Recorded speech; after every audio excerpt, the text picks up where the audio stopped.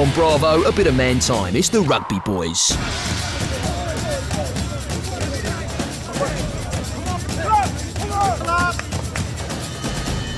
Hey guys, let's do this, yeah?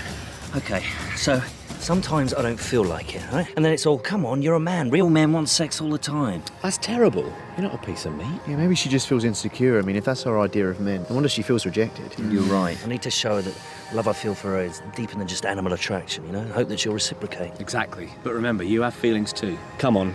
I'm taking you to see The Tempest on Saturday night. My treat. Oh, thanks. God, I, I don't know what I'd do without you guys to talk to. I love you guys. Yeah, we love you too.